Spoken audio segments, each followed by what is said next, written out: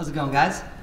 Um, first of all, I'm very pleased to be here, and uh, I am honored to, to speak on behalf of the contemporary uh, series in philosophy and religion.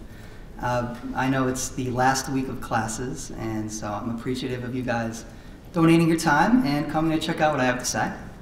So, I don't know if anybody had a chance to read the, um, the flyer, but the title of my presentation is Merleau-Ponty and the, as I say here, Merleau-Ponty and the expression or expressivity of existence, which is essentially what it is. I've kind of tweaked the title since I first donated it. But we're going for ultimately his notion of style. Now, I know style means a lot of different things, maybe to a lot of different people. For Merleau-Ponty, it's, a, uh, it's an ontological notion. It's something that cuts right to the core of who we are as people. But of course, it's not unrelated to notions of style in the aesthetics realm, in the realm of just sheer mannerisms. So we're going to take a look at all of these things. So up there you have Maurice Merleau-Ponty. Now as you see, he is a 20th century thinker. Born in 1908 and died uh, rather untimely, actually 55 years ago yesterday. So it's, it's somewhat interesting that uh, I'm here to talk about him. Um, you see him on the right there in his, uh, in his older age, so to speak, lighting a cigarette, as these French philosophers are wont to do. And then on the, uh, on the other side there, you see him pictured with uh, another famous philosopher, a contemporary of his, Simone de Beauvoir. So that's what they are. They're looking about understanding the human condition. Okay, so I'm going to provide a little bit of context first, just out of which Merleau-Ponty is responding with his philosophy, and then we're going to delve much deeper into his notion of style. So, an ontology of expressivity. What does that mean? Well, first it's important to understand exactly to whom he's responding. So, he's critical of the two major movements in philosophy at the time, and this is again the, uh, the early 1900s, both of which are, as he describes them, secondary abstractions from cohesive concrete experience. So the two major movements here are empiricism and what he refers to as intellectualism, but I think is better, better known as rationalism or idealism. Uh, just a show of hands, how many people have ever heard of those isms? Empiricism? A couple of people? Okay. Feel like you know what that means? All right. All right, that's a decent amount of hands. Uh, somebody want to tell me what that means? Yeah, please. Well, basically, empiricism means that you have to learn through knowledge through yourself. Okay, good, very good. All right, so essentially, it's as I have it here. Um, and again, this is a very cursory definition of these two, basically how it responds or how it pertains to what Merleau-Ponty is saying. So empiricism, the world imprints itself upon us and to a large extent determines us. So essentially we're a tabula rasa kind of thing.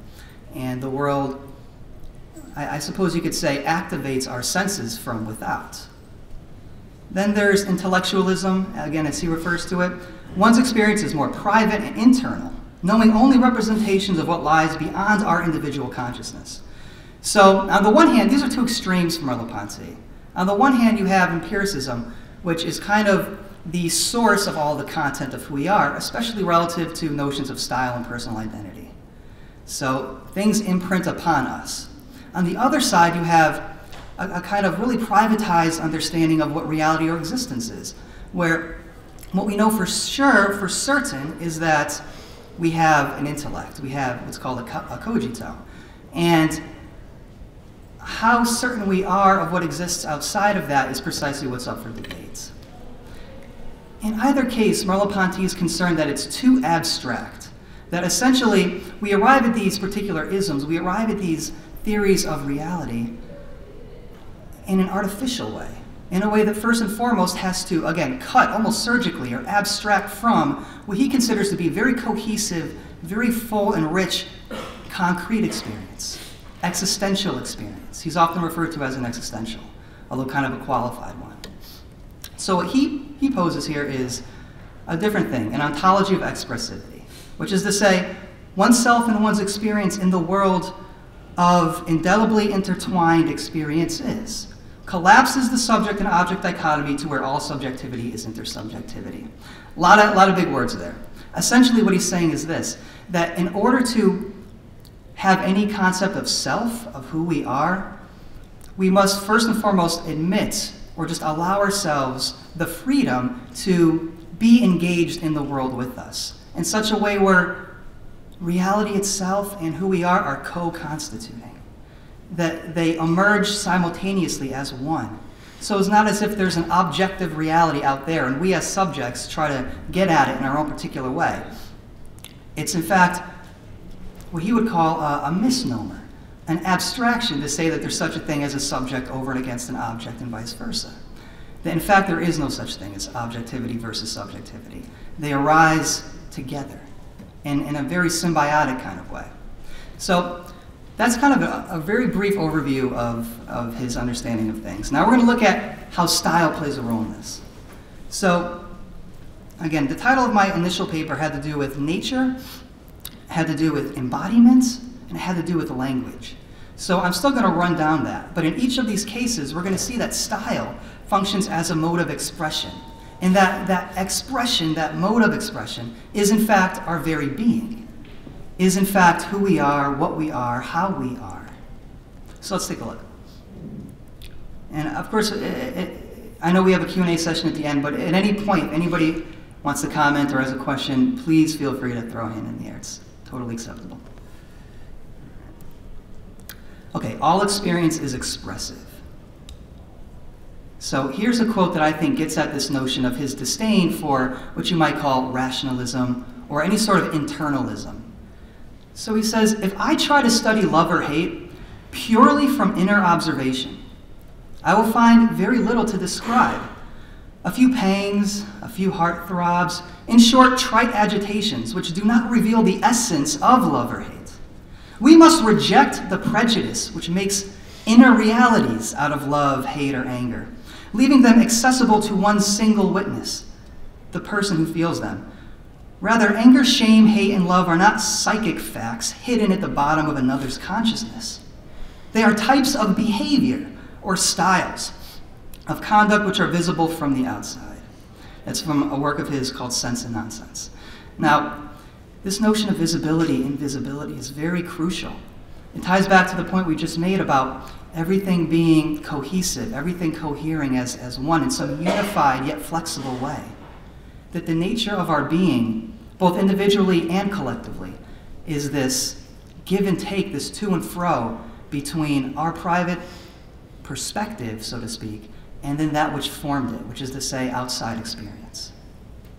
So, again, the, the ultimate point here is simply that, as he says, love, hate, anger, it's not something that we kind of get at internally on the inside, like our private emotions it has to do with the way the world interacts with us. So when we feel love or in love, or we feel the love, however you want to put it, it's because the world, and, and this is in a, in a real sense, he means this, the world is loving you back.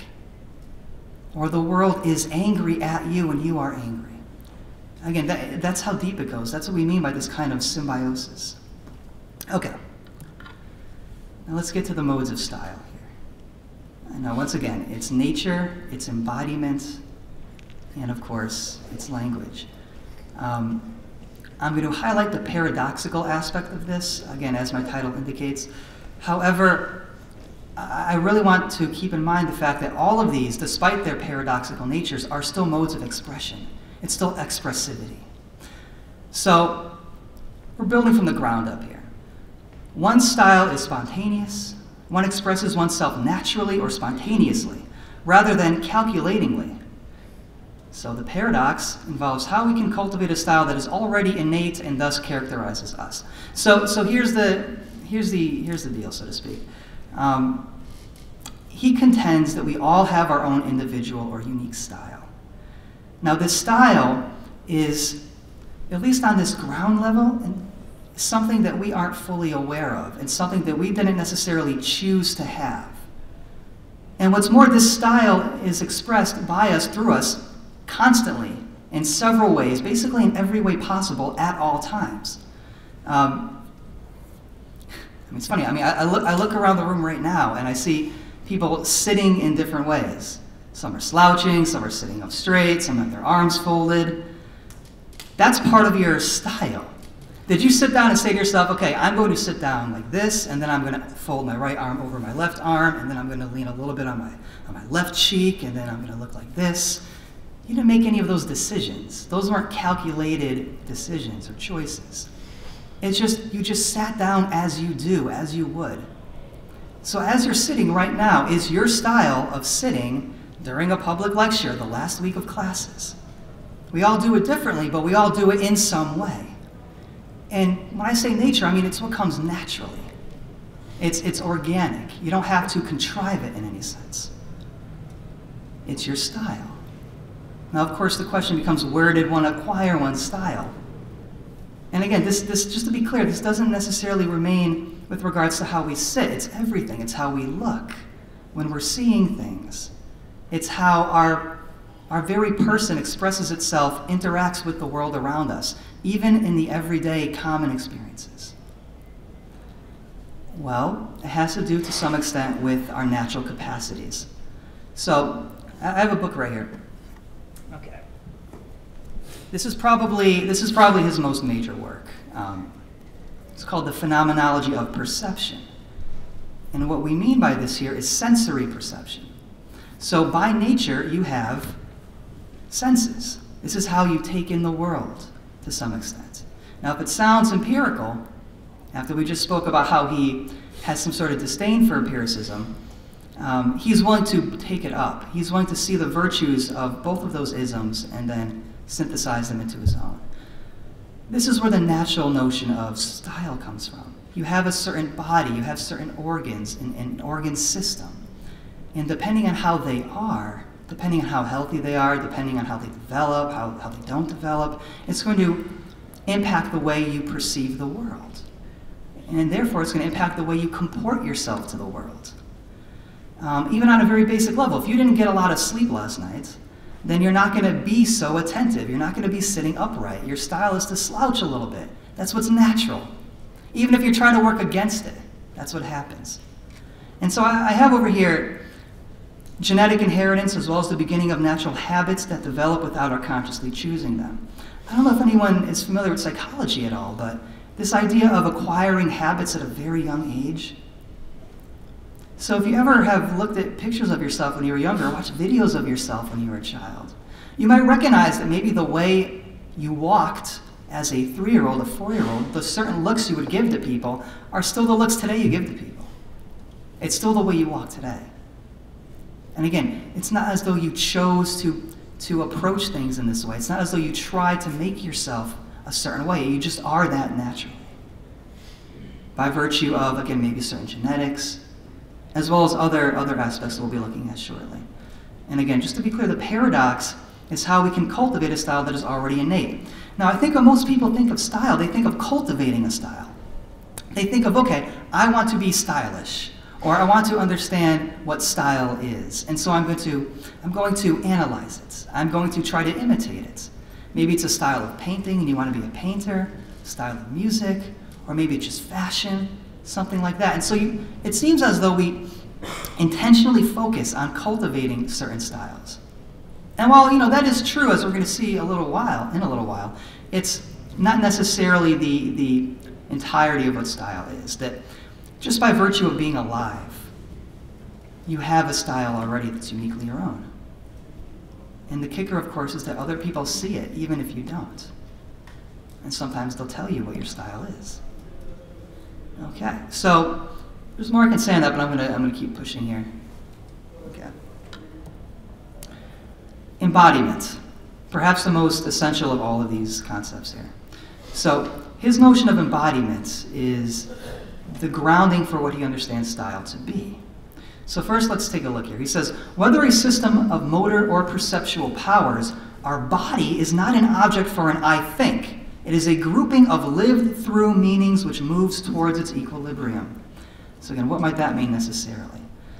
Well, on the one level, he's talking about, again, this notion of instinct or instinctual embodiment, pre-conscious, pre-reflective embodiment, to the point where every time, again, you make a decision, you do something, it's not necessarily fully thought out. Sometimes it's just reactionary, it's whatever comes natural. And this shows itself most often in the body.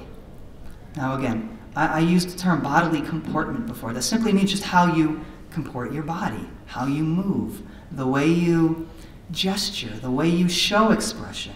All of these things are relevant. They all come to bear on this notion of embodiment. So it's not really just you have a body in the sense that your soul has a body or something like that. Your body is some sort of instrument, it's some sort of tool for the mind. It's, it's much more intimate than that. That for Merleau-Ponty, your body is what you are. That you experience all of existence through your body. And things resonate in a bodily way, in a sensory, percept- perceptible kind of way.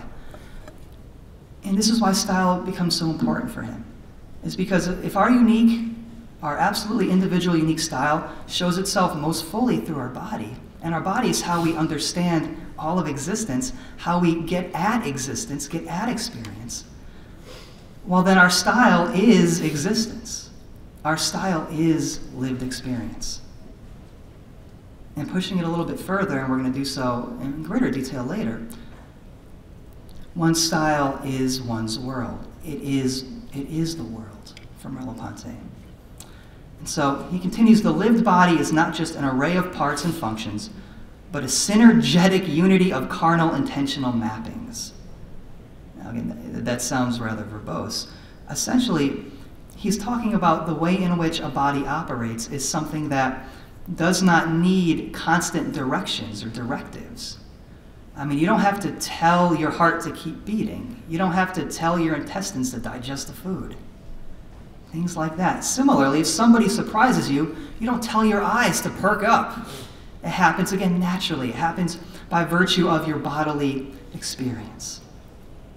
And what's more, getting back to that notion of expressivity, we come to communicate with the world, interact with the world cohesively, holistically, through the body. So that our body is basically our medium for expression. And therein lies our style. Different people respond to stimuli differently. And that's how you begin to learn both of others and of yourself what your unique style is. At least your initially inherited innate style. And then from there, as we're going to see, we can begin to cultivate certain stylistic qualities. So, again, keeping an eye on the paradoxes here.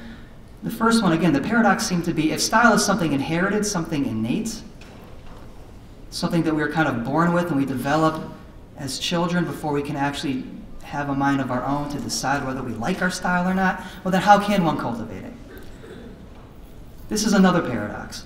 One style manifests, again, in a pre reflective manner. When paying attention to it as an object of reflection, what once flowed organically becomes abstracted from the context and as such may, may become elusive or forced. So, what does that mean? the natural, organic quality of one's style can sometimes be lost when we focus on it too much. Um, and I think this exhibits itself in a number of ways. Um, I don't know, for example, you might be in your mid 20s, I don't know, and you've been walking for a very long time, and you're comfortable with walking, you have a certain kind of gait, a certain kind of walk. You don't really think about it, you just get up and walk. But then if somebody you have a crush on is watching you and you realize they're watching you, suddenly you're going to pay attention to your walk. Suddenly you're going to, you're going to make it a, a focal point. And then what might happen? Walking suddenly doesn't become so easy or natural because you're paying too close attention to it. And you're maybe trying to, to exhibit certain qualities in your walk that you know are there and you're trying to exaggerate them and suddenly you lose them. They're elusive. And you feel, you feel under the microscope. That's interesting. So, on the one hand, you can never really lose your style, it is who you are. But on the other hand, it seems like there are several moments when we forget our style, where we can't seem to apprehend it in a natural, organic way. You know, I always think, whenever, whenever I read this over, this particular passage in, in Merleau-Ponty, I, I, think of a particular situation. It, it, it is baseball season. Is anybody a baseball fan? Four people out of like seven. Okay. Is anybody a baseball fan from the late 90s? All right, this is going to go over great. Okay, so there was a there was a baseball player named Chuck Knobloch. I'll just make this really quick, but because I, I can't help but think of it even right now. There's a ball player named Chuck Knobloch. He played second base. He won a lot of what are called gold gloves. It means he was really excellent defensively. Um, he was especially good at throwing, especially from behind second base, a long throw. You'd have to be very athletic to do this. But he had his own style. His throw was very unorthodox, very strange, not the kind of way you would teach mechanics to somebody in T-ball. And one day, one of his coaches pointed this out. He said, "You know, you know, Chuck, you really have a funny way of throwing. Like it's it's really unusual. It's really your way of throwing." And he said, and this is all, all recounted in an interview. He said, "You know, I never really, I never really thought about it like that." So he went and he watched some tapes of himself, and he paid attention to how he threw the ball. And then from that day forward, he couldn't throw the ball to first base ever again. Every time he tried to do it, he, he, he just he, he couldn't do it. It was too it was too abstracted from his everyday concrete experience. He made it an object of reflection, his very style, and then he couldn't replicate it anymore. To the point where they had to move him to left field, and then they cut him. I mean, I can't. I, you know, he played for the Yankees. I'm a big Yankees fan, and and I can't tell you how many times just a ground ball to second base, and he would just chuck it into the stands. And this was a man who was amazing at second base, because the moment he began to critically reflect on his style, it no longer became natural, it no longer became organic. He tried to cultivate a different style. He tried to go back to basics, the fundamentals. Maybe I'll just try throwing like everybody else throws. Still couldn't do it. Sad story. Okay, so that might be an example of, of the paradox here. This, this oddness of trying to make oneself, make one's style, an object of reflection, and thereby distancing oneself from who one is, from, from the way one is keeping on the theme of baseball. Uh, if you know anything about baseball, you know there are batting stances. There are several different kinds of batting stances. For every player, there's a batting stance. Here are some particularly weird ones. You've got Gary Sheffield, you've got, looks like Pujols, and you got that guy Craig Counsell looking like he's, I don't know, trying to catch lightning with a golf club. So here's what you have, different kinds of styles. It's interesting because in each of these batting stances, it began as something natural, as a young child just picking up the bat. And then over time, they've tried to cultivate certain stances that work for them, that play to their particular natural style, their genetics, their strengths, their, their, um, their weaknesses, trying to overcome them. And they try to hone their style over time. So again, there's no one right way to swing a bat because there are several different kinds of hitters, several different styles of hitting. And on the one hand, with baseball players, this is their business. They get paid millions of dollars. So they do tend to focus on this. But of course, the point being, it began as something that didn't require much focus. And, and this illustrates the point even more. This is one guy whose batting stance developed over time. His style changed due to his experiences. He was able to cultivate a more refined batting stance. And so you call that his batting stance. That's the, what's this guy's name? Dombrowski. Uh, I don't think he had a prestigious career. This is Dombrowski. That's Dombrowski's batting stance. You could recognize it. And that's kind of the key to style, I suppose, in general, relative to the body. You can recognize people based upon their gestures, based upon how they interact with one another, with people.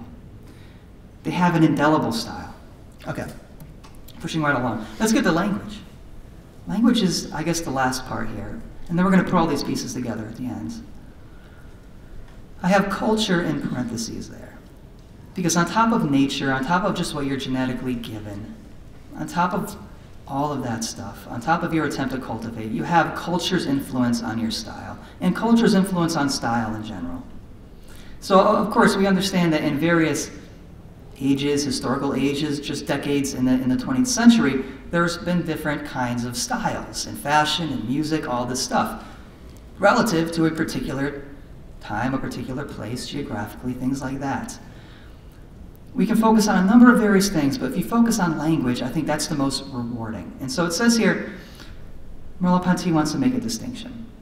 He wants to reduce language down to two forms of language spoken language and speaking language.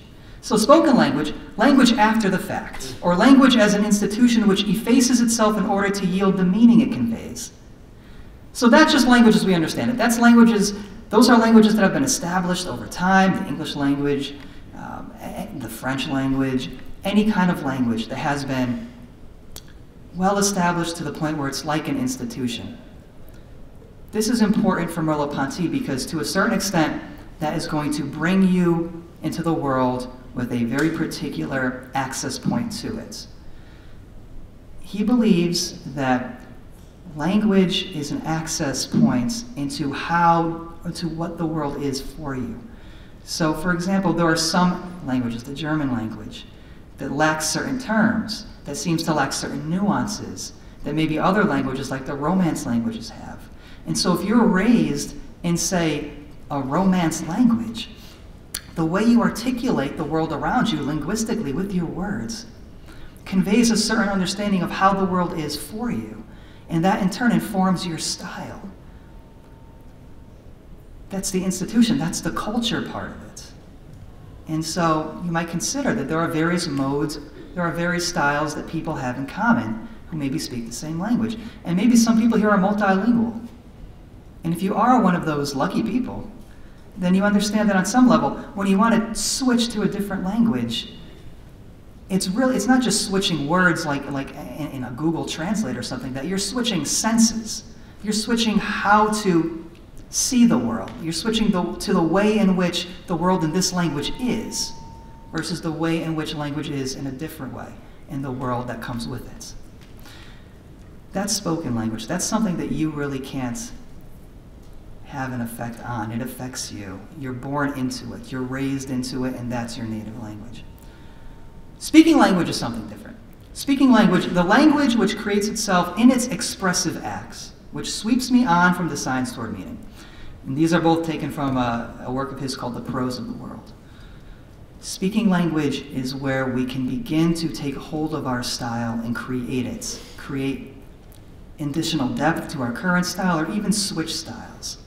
So, relative to language, this is where one maybe becomes playful with language, uses terms in new ways, says things in certain ways with certain inflections, to the point where one's style begins to really show itself, to seep out, and then hone itself, refine itself.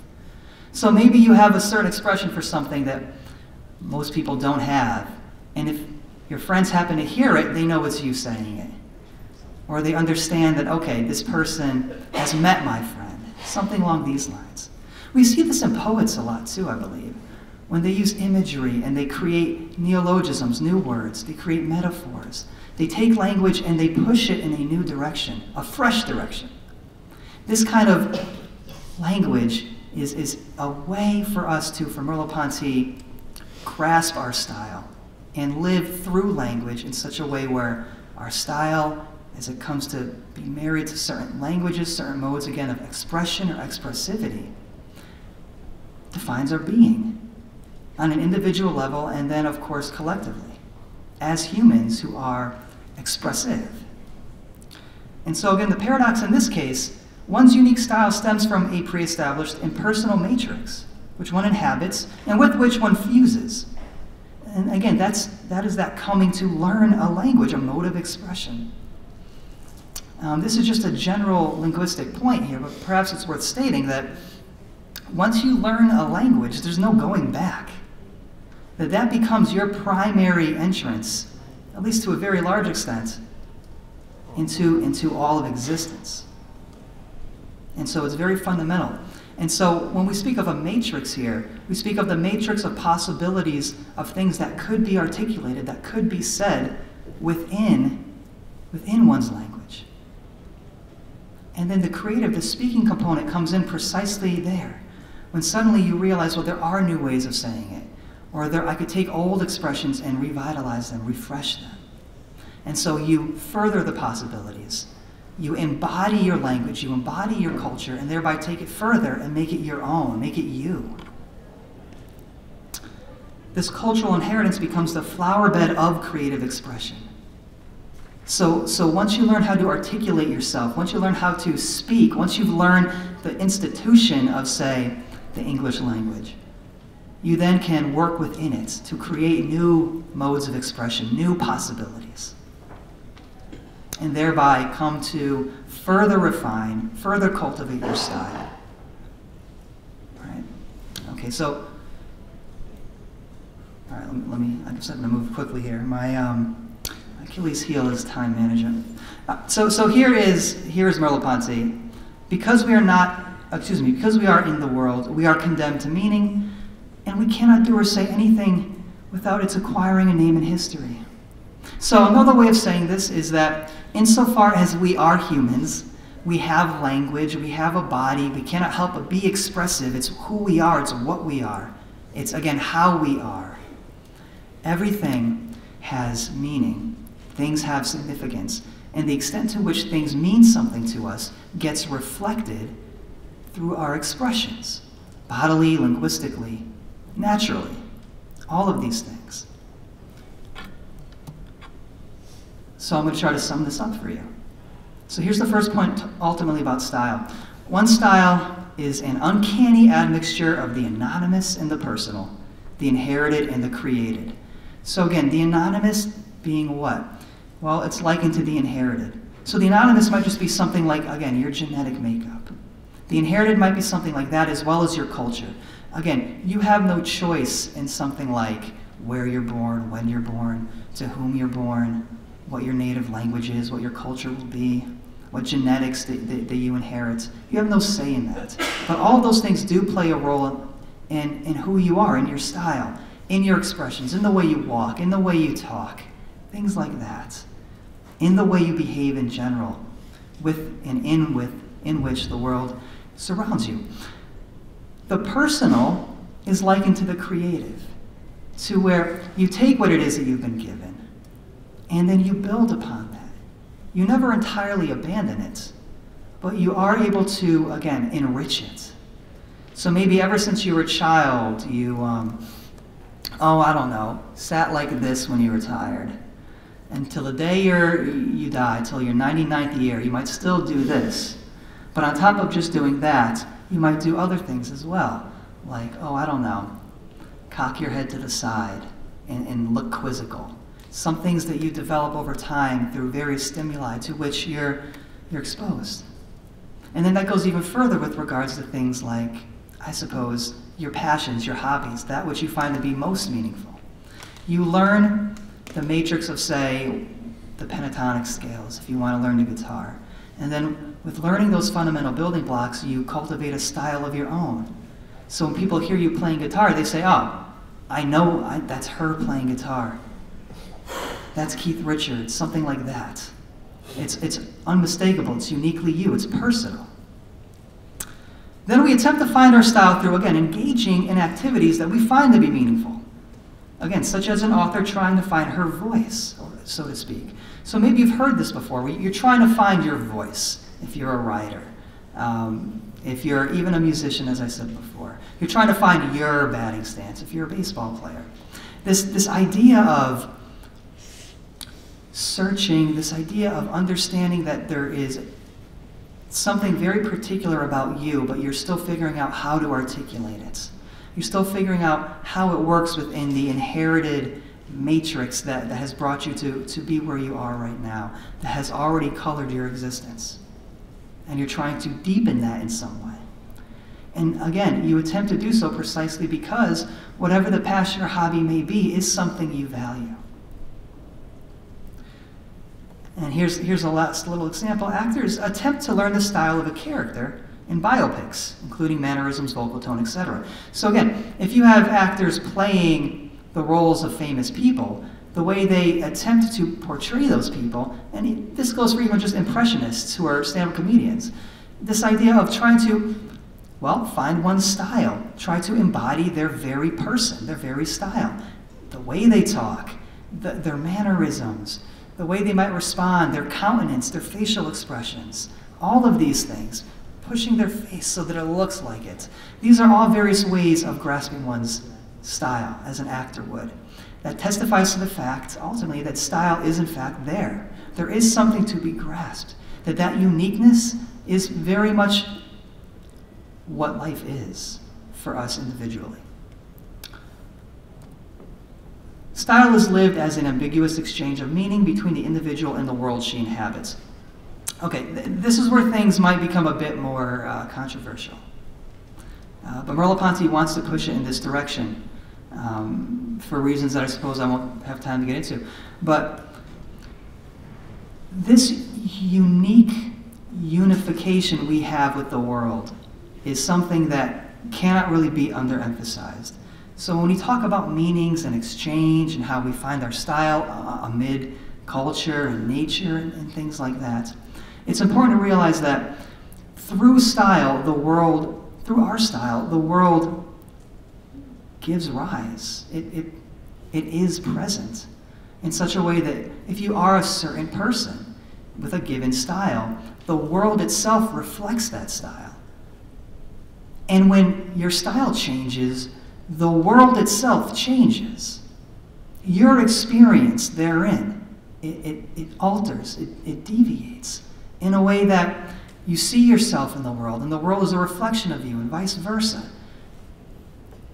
Kind of like how you see with other people. When you see other people, you recognize their styles, and you can figure out when they're feeling one way or the other way. Through, again, through their bodily expressions, through their words, through their tone, all of these things. So, too, in a very literal way, Merleau-Ponty wants to argue that one style is just, it's indelibly intertwined with existence. Style thus emerges and appears as an expressive gesture, which is an expression of the body's basic capacities to intentionally intertwine with the world. And again, that notion of intentionality, it's, it's, it's very important for phenomenology, which is something that he is a part of. It's a movement. Suffice it to say this that one's style, one's gestures, one's expression is always an expression of meaning. You can't just give an expression to, to nothing. It's always an expression of something in response to something else. What one finds to be meaningful, what one finds to be worth pursuing, valuable, impactful in the world, reflects itself in the life one chooses to lead, in the way in which one chooses to lead it, combined with the way in which one has already learned to simply exist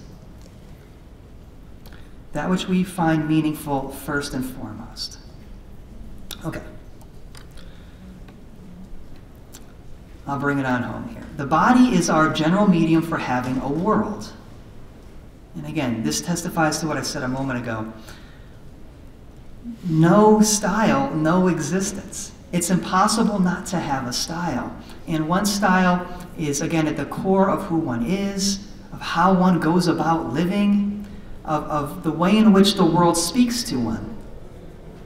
And he wants to really put this into dialogue that the world speaks to you in a certain way, and it's reflected in your style. And in your style, as you engage with the world, you are speaking back to it. And that is where meaning comes from meaning in your life, meaning on an everyday level. So, the final paradox of style as a, uh, a gestalt, a cohesive structure. I am a psychological and historical structure and have received with existence a manner of existing, a style.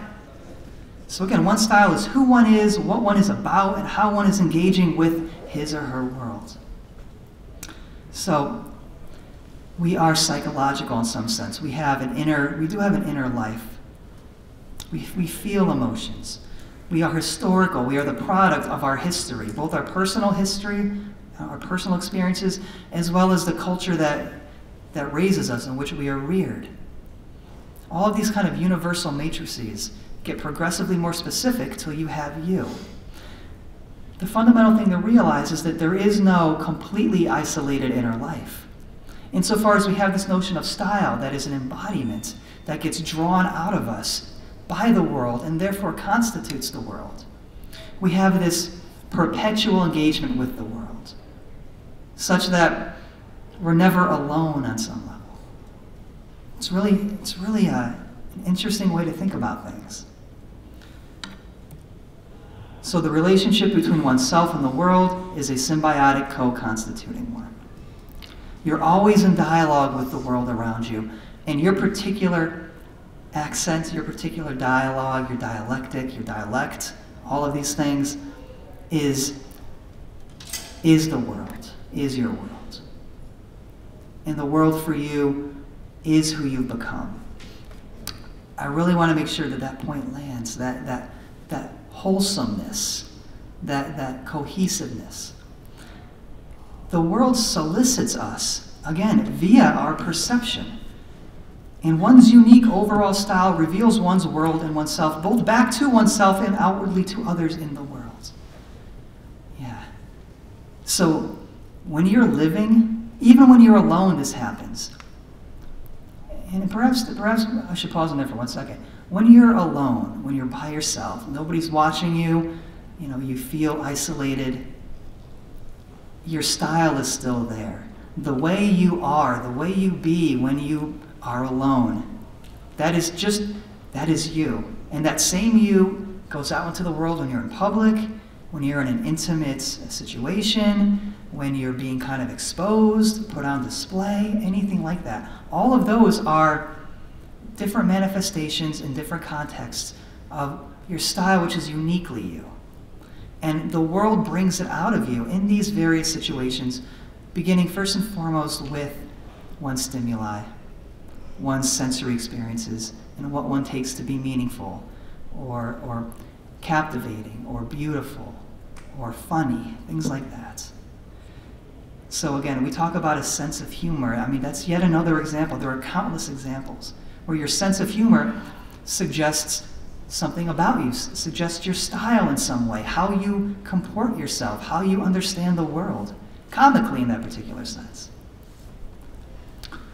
One style is one's existence in a very literal sense, and when one style changes, so does the world. Merleau-Ponty is adamant to say the world is not a fixed place. Experience itself is dynamic and, and it's interactive. Always, and always has been. And any attempt to try to abstract from it object qualities, scientific qualities, behaviorist, psychological only qualities, yeah, there might be something to that when you're parsing it out, but those are all secondary. Those are relatively artificial ways of understanding what real existence is and one's place in it, as co constitutor of it. So there you go, just do you. Style is that by virtue of which human behavior is not just a series of gestures, and I, I, like, I like how he puts this, but a melodic unfolding of a point of view, a distinctive way of being and being with. A distinctive way of how you live, of what living is, of what your being is, and how you are when you're with others, when you're with the world. And as I said before, you're never alone. You're always interacting with the world. And so your style is your distinctive way of living, of existing. You might have things in common with other people because you have something, you have similarities, such as maybe you speak the same language. So you use the same words when describing a reaction to similar phenomena but what those phenomena might mean to you in particular based upon your personal history, your past experiences. That's uniquely you, and it shows itself in your, in your expressions. Whether you express yourself through writing, through music, through poetry, or even just through fashion, or, or simply by just sitting and looking and paying attention. I mean, it's, it's completely saturated. The way you sleep, Maybe you do things in a certain way and your beloved says, Oh, that's so cute. Only you do things like that. Yeah, that's, he's right or she's right. And that reflects the way the world speaks to you and how you respond to it within it. All right, I, I sort of went over there. But I think we got 15 minutes left for questions. Um, okay, cool. All right. All right, guys. Questions? Any, any sort of comments? Any sort of, uh, has, has anybody here ever thought about style on, on any level? Not necessarily this kind of deeper philosophical way, but just in general, what style is. Y'all like style? Let's do that. Yeah.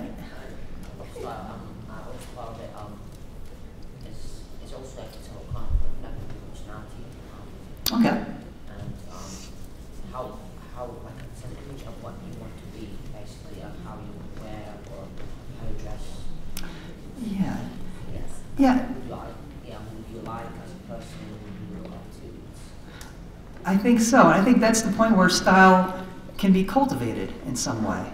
which is to say that so so you have certain possibilities open to you, right? So you're born, I don't know, in in America in, in the 90s, and so certain things that are happening at that time where you live will influence you. And so in that sense, it, it's already begun to hone your possibilities of, of what you take to be um, chic or stylish, something that you want to become. But within those possibilities, you then make choices for yourself and say, well, this is, I want to pursue style in this way. I want to appear this way to the world. And in appearing that way to the world, it's kind of an acknowledgement of, of here's how I see the world. Here's how I see myself in it. And so I want to further cultivate that. I mean, it's funny because when, when we're teenagers, we're still trying to get an understanding of, of, of why we are a certain way. Maybe we hate certain aspects of ourselves. I hate the way I walk. I hate the way I cough. I hate the way I sneeze, something like that. But it's just, it's, you understand it's part of who you are and there's no avoiding it. But at that point, you then begin to, on the one hand, maybe say, I want to, I like the way that person sneezes, for lack of a better example. I'm going to try to sneeze like that person. So that way my sneeze is, is much, much more palatable for people. And, and that's, a, that's a silly way to put it, but I think the same thing happens with fashion and stuff like that. I think that's why a lot of adolescents, Merleau-Ponty says as much, he, he was chair of the, of, the, of the child psychology program um, at the Sorbonne for a long time, well, relatively long time. And, and he notices this kind of thing where when children develop into adolescence, they try to adopt styles, adopt identities as they search for the ones that they prefer. And then as one develops further, one begins to realize more thoroughly how one feels about the world in a certain sense and how others see oneself. And then one begins to take, I guess, one's style into one's own hands. Yeah. Yeah, Well, Mario. question. Then you claim that everybody has style. Wouldn't also that mean that free will does exist? If there's such thing as style, then wouldn't free will also exist? Yeah, I think so. Um, yeah, I mean, free will is an interesting concept. It's, um, yeah, Merleau-Ponty and, and guys from the 20th century, they don't like to usually use those terms just because they kind of have this sort of religious connotation. And so it's like free will versus, I don't know, divine foreknowledge or destiny or something like that. They just like to use the word freedom in a very existentialist way. So, yeah, that's what's so, and I, I suppose we could sum it up in this way that's the paradox of style, according to Merleau Ponty, is that you don't really have complete freedom with regards to your style. I mean, you develop certain habits at a very young age before you can even reflect on them. And then that becomes part of who you are always. And yet, you do reach a certain point where when you begin to learn languages and you begin to understand that there are various hobbies you can explore and, and ways you can present yourself, express yourself, that's when your freedom comes into play. So it's not as though you have complete freedom over who you, who you become, what your style is. But you do certainly have the freedom to cultivate it to a great extent. Yeah. Yeah, please. Um, do you think Ponty would discourage the uh, self-reflection on your style and, and lean more toward an organic creation, or Yeah, that's a good question. Um, his preference. I think, I think for Merleau-Ponty, he would say that uh, on the one hand, you don't want to think too much about it, because if you're thinking about it too much, you begin to obsess over it, you begin to kind of lose that connection with it. And again, kind of like the, the example with, uh, before about, um, I mean, say maybe you have a certain way of pronouncing words. Maybe you have like a, a Boston accent or something like that. And, you know, you're aware of it. You were raised in that situation where that became part of your style. And if you were to focus on that, it might keep you from clearly expressing yourself in other ways because you're constantly focused on maybe not trying to say words that, that bring out that accent things along those lines. So there's that. But on the other hand, I think one has to focus on it if one wants to be creative in that way. So again, you have people who are who are into into fashion and they design it, and you have artists and things like that. I mean, it, it was so interesting is that when you if you ever attend an art class or, or go to art school, the very first thing you learn how to do is replicate the style of previous painters. And once you can imitate them, once you get their style, then you're able to figure out, again, find your own voice, figure out where it is that, that their style ends and yours begins. So again, that's that's this paradoxical aspect of things. You don't want to like murder to dissect, you know, to quote Wordsworth there. But but at the same time, i in order to actualize that freedom, it requires some sort of sustained focus. And again, here's the thing: the, the focus isn't necessarily work because it's again it solicits you it seduces you on some level to the point where you're interested in music or fashion or, or painting something like that. It draws you in. It steals your focus in a sense. So that it's not forced. It seems like merleau-ponty would be against forcing oneself into a certain style without there being any freely chosen desire to do so yeah Well, well, if there was no such thing as free will, how would we know if we're actually being forced or not forced? If there's no such thing as free will, how would we know if someone is being forced or not being forced to certain style? How would we know that difference? Yeah, well, that's that's an interesting question. I'm not so sure that for Merleau-Ponty there is a difference. The, the interesting thing about Merleau-Ponty is that he wants to just collapse all these sort of dichotomies between free, you know, free will versus determinism, or um, object and subject, and you go and you go go right down the list. He's not concerned with black and white distinctions. In fact, he doesn't really believe in them. He thinks that they're these arbitrary distinctions that that help us understand things at a very scientific level, but it's it's not how real existence is. It's not what concrete experience is. So I suppose, uh, still, your question is good.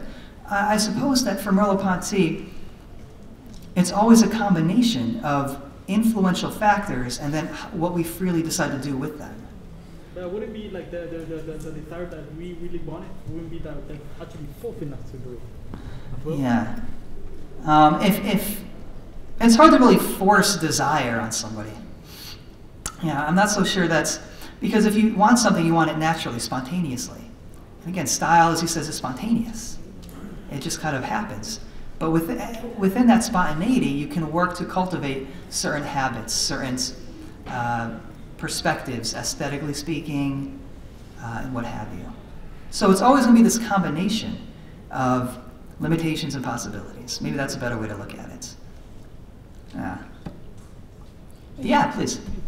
So from what I get, we have to conscious style and unconscious. Yeah, I wouldn't go so far as to say unconscious, but I would I would say maybe pre-reflective, and again, that's that spontaneity.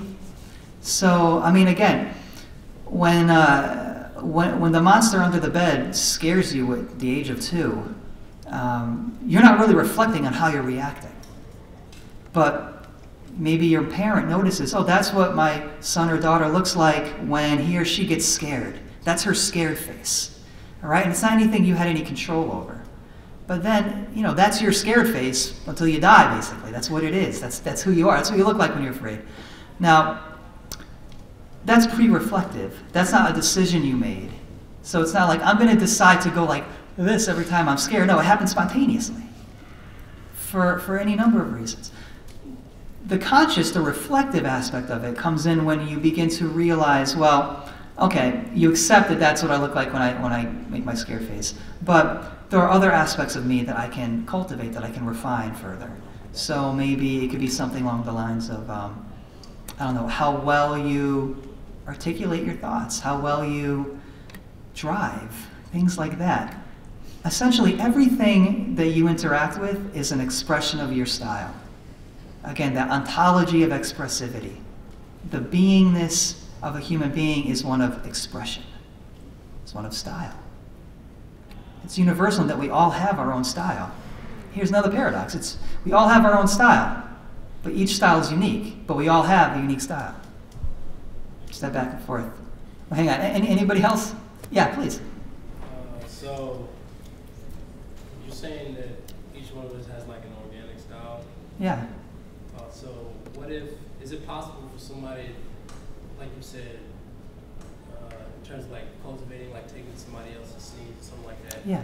to like constantly compound that over their organic style to like form another one? But to me, wouldn't that be like uh, being inauthentic in some Yeah. sort of way? That's a good question. Um, I think on the one level, uh, yes, that that's kind of that's kind of what we do almost. Is that and I, I, I like I like your term inauthentic there. That's that's kind of what living is on some levels. That you, the, the further you're you're exposed to various experiences and different styles, some styles will appeal to you and some won't. The ones that will appeal to you appeal to you because of your already established style, in, in a very interesting way. And so you build upon that. Now, whether with regards to authentic and authentic. Um, yeah, so you know, is, is this is somebody just being a poser basically? If he adopts this style and that style, so in seventh grade he is into like grunge and skateboards, and then in eighth grade he's like something else, and ninth grade something else. You know, where's the real you, so to speak? I think ultimately for Merleau-Ponty, none of it is inauthentic.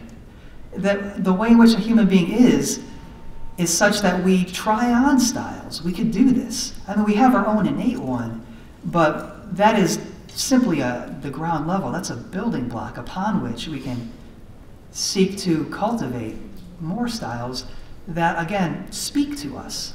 And again, we're not going to try to become something that doesn't appeal to us. I think Merleau-Ponty would argue. And so therefore, any, anything that does appeal to you, that you try to adopt, in some way it is authentic. Because you do see something in it. It speaks to you in some way. And of course, if it stops speaking to you, you can, you can drop it on some level, unless you've habituated it to the point where it's become part of your indelible style. Yeah, any, any, yeah back there. Sorry, Maria.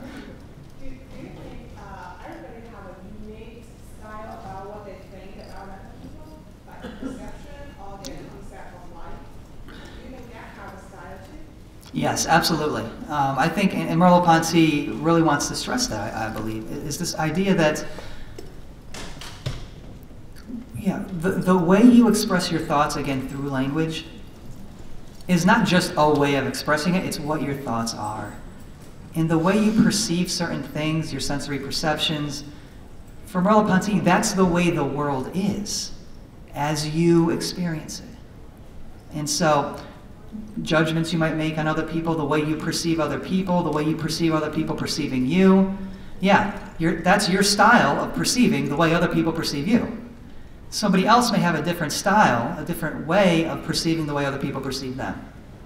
And it's all different. And again, what, what, what makes it unique is this combination of the fact that we're humans, that we have bodies, that, that we have genetics, genes, and, and that nature aspect of it coupled with our own personal experiences as we proceed to live throughout our lives.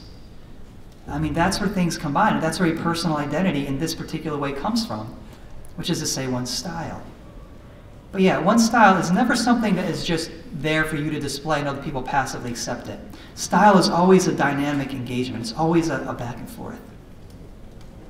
So how people receive it is part of their style, and it's also impacting your style, pretty much.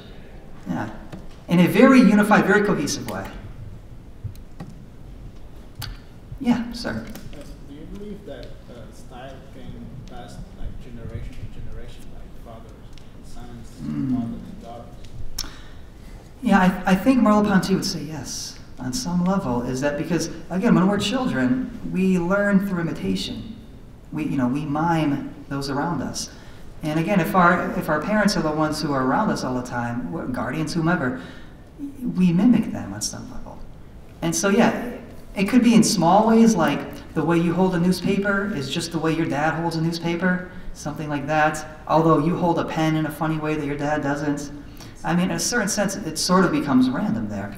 But, but yeah, absolutely. The question then becomes, as you get older, oh, I hold a newspaper just the way like my dad does, but I don't want to be my dad. I don't, I, I, I'm my own man. I'm going to hold my newspaper differently from now on. And maybe you break the habit, and maybe you don't. Yeah. Once, yeah, you, then, and then Mario, and then Mario. But yes, Miss. Uh, will you say death is the style or the way of dying? Death is a style or the way of dying. Oh, okay. I think I think the way of dying. I mean, yeah, I think for Merleau-Ponty, one style is, and this is this is common among existentialists. Merleau-Ponty's notion of style, relative to how we live, is no different relative to how we prepare to die. And that's because, I mean, for him, living is accepting one's death. And so the very fact that as human beings we're aware at a very young age that one day we will die, we're aware of our mortality, and some days we think about it or more worry about it than others, that is going to impact the way we live. And so one's various styles towards attitudes, if you want to put it that way, towards death, are going to be different based on the individual. But nonetheless, it's not anything we could divorce ourselves from because it's who we are and what we are. And so the way we approach dying will suggest something about our style. We'll do it in our own way. Death, on the other hand, um, is kind of final. So, I, mean, we can think about Merleau-Ponty, for example. Like I said, he died 55 years ago yesterday of a sudden stroke. It was very untimely. Um, I doubt he would say that's my style. you see? It's, it's one of those things where, I mean, it's tragic. It, it's especially tragic insofar as he was completing what was going to be his, his, his magnum opus, his greatest work. It's called The Visible and the Invisible. He was just a few pages shy of finishing it when he had the stroke. Um, and those last few pages before it goes incomplete is some of the greatest stuff in philosophy, as far as I'm concerned.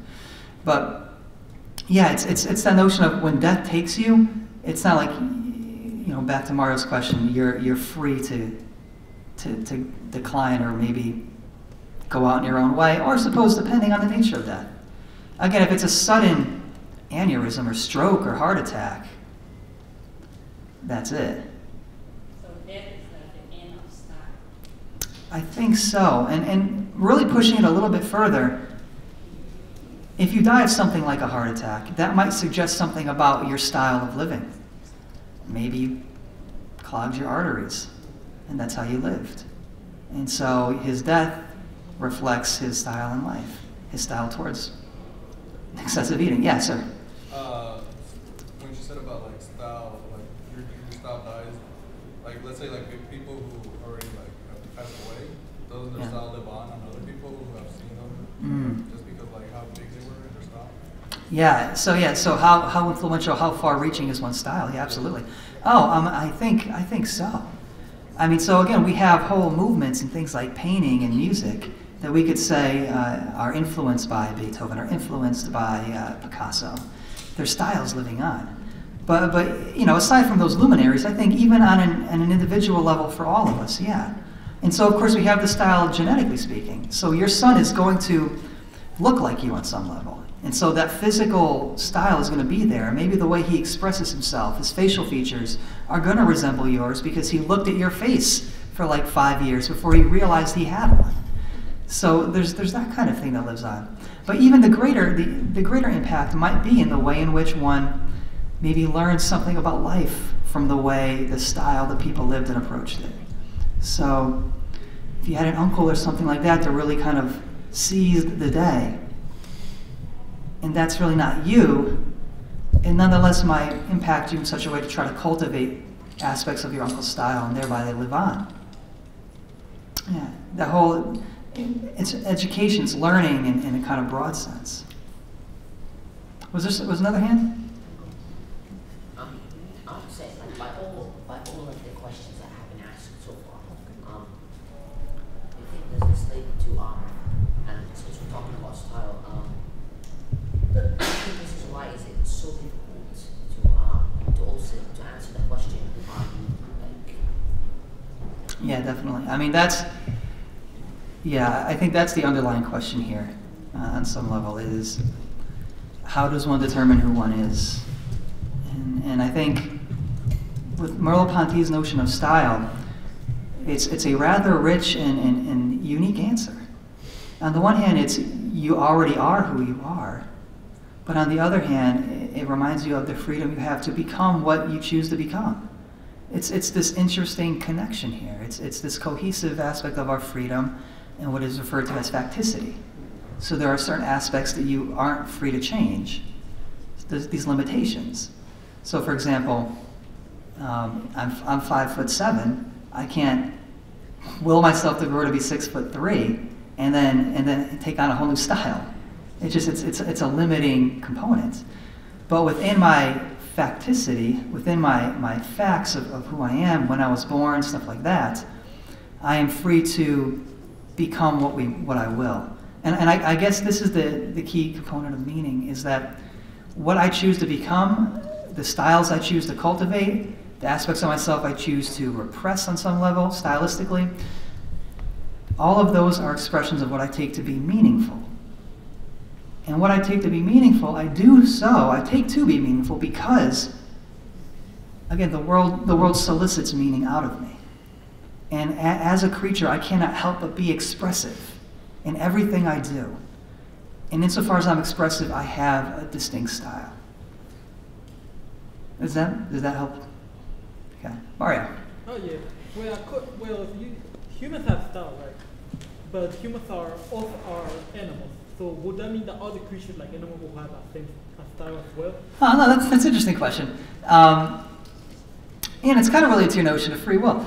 I mean, look, the first thing I think of is my own dog. And I'm telling you, my, my, my, I would want to say my dog has a style.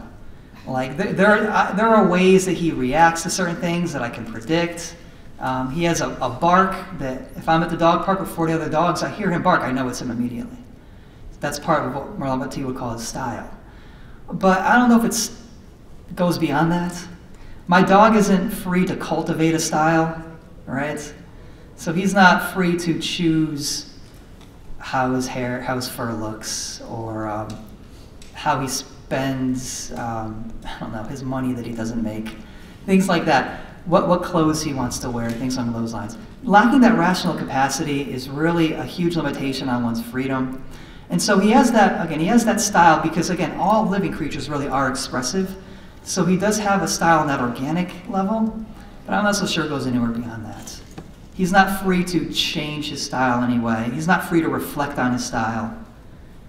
He doesn't know what style is. yeah. No, but I like that question because I think it, it gets at, again, it gets at this idea that insofar as you have sensory perception, you are engaged with and in the world, and then you express yourself again accordingly. Anything else?